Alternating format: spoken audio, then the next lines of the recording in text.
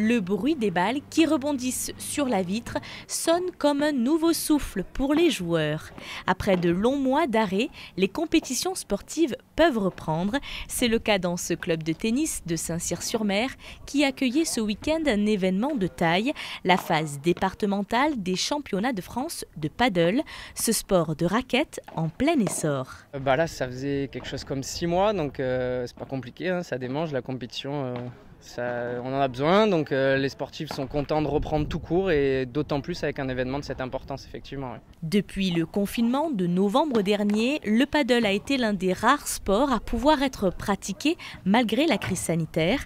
Mais avec un couvre-feu à 18h, difficile de s'entraîner à sa guise. C'est très frustrant. Donc euh, voilà, on a l'habitude de courir, de s'amuser et se retrouver euh, voilà, sans jouer, c'est terrible. Quoi, hein.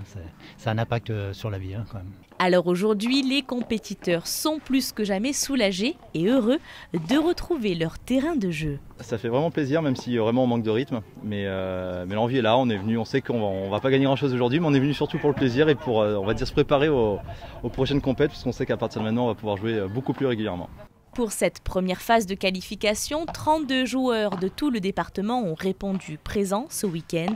Les championnats de France de paddle se poursuivent avec la phase régionale prévue à la fin du mois à Aix-en-Provence.